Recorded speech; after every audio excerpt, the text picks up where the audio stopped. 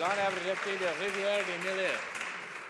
Il me fait plaisir de prendre la parole dans cette chambre pour souligner la retraite imminente de Robert Grégoire, qui dirige le centre d'entraide Grâce-Nevoie depuis 1989.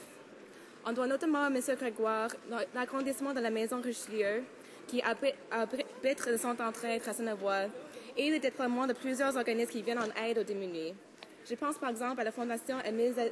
la Violette, au Grenier populaire des Basses-Laurentides, au Comité d'aide alimentaire des Patriotes et à Droit et l'obligation des sans-emploi.